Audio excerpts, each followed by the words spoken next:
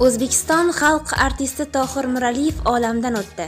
O'zbekiston xalq artisti Tohir Miraliyev olamdan o'tdi. Bu haqda O'zbek kino matbuot xizmati Daryo muxbiri Feruz Muhammadga ma'lum qildi.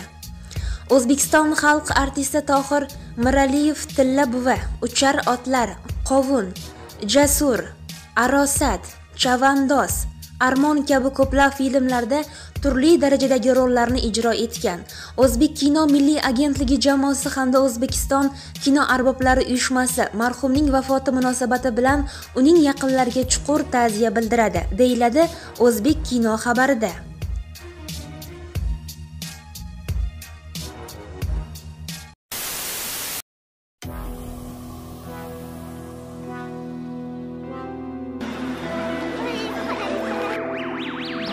Mahliyo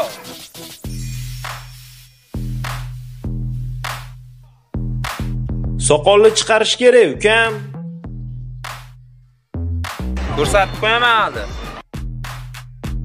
soqolingiz chiqmayaptimi? Sochingiz to'kilib ketyaptimi? Ozib ketdingizmi? Semirmoqchimisiz? Semirib ketdingizmi? Ozmoqchimisiz? 100% kafolat bilan sof savdo nuqta ru tavsiya qilamiz